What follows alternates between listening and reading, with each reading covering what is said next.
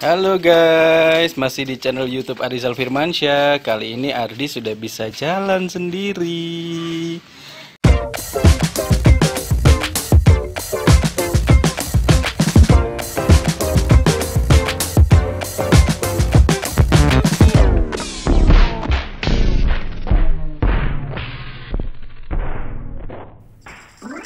Ya, ya, ya, ya, ya, ya, masih di channel Arizal Firmansyah seperti yang sudah ada di opening tadi.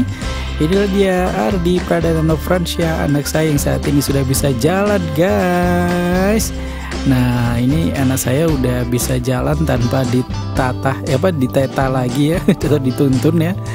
Nah, ini sudah mulai pertanggal 13 Juni. Uh, terus besoknya ini saya rekam dan ini hari kedua sudah bisa jalan meskipun masih agak susah untuk ngeremnya. Nah nah nah, nah tuh kalau puter. Agak susah ngerem. Kalau puter agak ngepot dikit.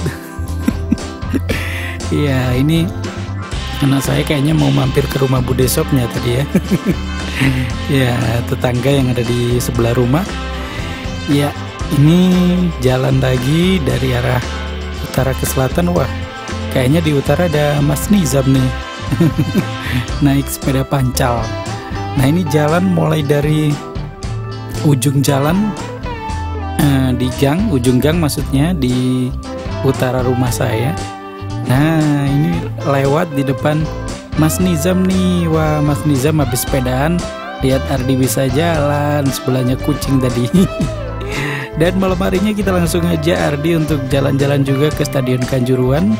Untuk ya baru istilahnya nyari bisa jalan gitu ya. Barusan bisa jalan kaki sendiri. Oke Ardi seneng banget nih rasanya kayaknya ya. Dia bisa jalan akhirnya.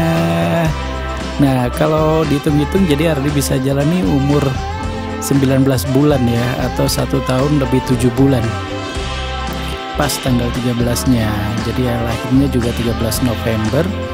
Nah, ini 13 Juni 2022 bisa jalan. Ya, selamat ya buat Ardi anakku, ayah dan bunda.